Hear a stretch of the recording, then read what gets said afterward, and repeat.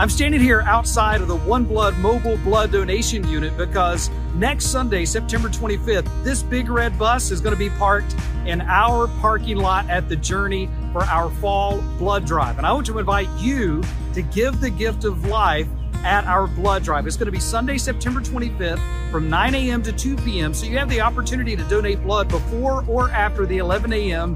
in-person service. And listen, this is so important because we are in the midst of a blood shortage crisis right here in South Florida and really all across our nation. And your simple donation of blood can save up to three lives. And that's because your blood donation, it's going to go to cancer patients who need uh, blood transfusions. It's going to go to accidents uh, and burn victims. It's going to go to uh, newborn babies and their mothers and those who have had transplants like our very own Pastor Nelson. It's amazing what the gift of blood can do. And if you've never done this before, uh, it's actually really easy. It, it really doesn't hurt, but I can guarantee you this. It's the kind of service that we do for God and for our fellow man that is really unlike any other. So check that next step on your connection card or just uh, be with us at the 11 a.m. in-person service on Sunday, September 25th. Come a little early to donate before the service or stay afterward and donate after the service. But I hope that you'll be a part